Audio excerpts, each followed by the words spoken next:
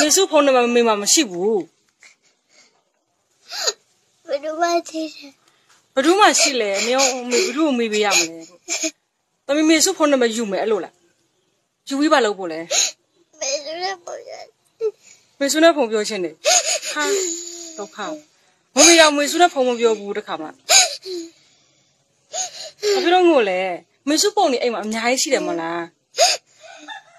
ပုံပါတဲ့အင်ဂျီလည်းမမေဝယ်ထားပေးတယ်မလားတော်ပြီပေါ့ဘယ်လိုသိချင်တယ်မေစုကိုတွေးရှင်နေ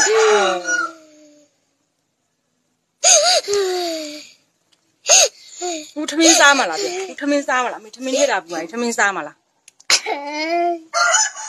ဟမ်ထမင်းစားမလားလို့ငိုနဲ့လေဘလို့လောက်ငိုနေလဲ မေပြောဘာဖြစ်လို့ငိုလဲတမီးပြောအမေ